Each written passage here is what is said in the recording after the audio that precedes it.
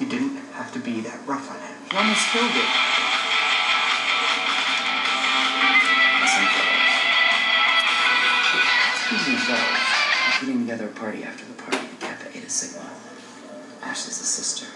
Ashley. The intern. Yeah. I know who she is. Are you guys? Ashley, me? No.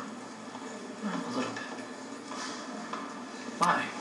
Excuse me, Mark. We were just talking about you. Just that you're doing a really good job. Thanks. I appreciate that.